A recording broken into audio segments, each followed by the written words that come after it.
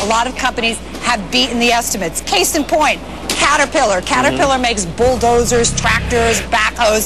Its quarterly profits tumbled 66%. That was better than the street estimated. Still made a whole lot of money. But here's the catch.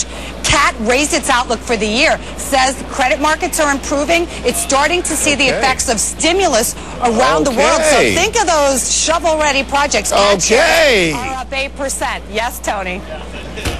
No, I'm just saying, that's glass half full for a change. I like that. So, all right, so there's a market, obviously, for these tractors. Good, good, good, good, good. But, you know, the airlines, that is still a, a, a, troubled sector. And look, the airlines are having a difficult time selling tickets right now, Susan. Uh, yeah, understandably, because of yeah. that 9.5% unemployment rate. Case in point, Continental Airlines, it lost over $200 million in the last three months.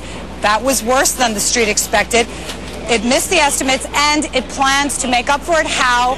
By cutting its workforce. 1,700 jobs, and nickel diming us those of us who are flying, it's going to yeah. raise the additional or raise the first bag fee from $15 to $20 if you do it at the airport. So do it online, and, and you should actually book your fare online because it's raising the phone reservation uh, uh, by another $5. So, and it says it's going to look for more measures, additional measures to to sort of boost its revenue. So oh, think of great. other creative ways to nickel and dime us, unfortunately. That's uh, just wonderful. If you if you want us to buy tickets, there, there's the remedy.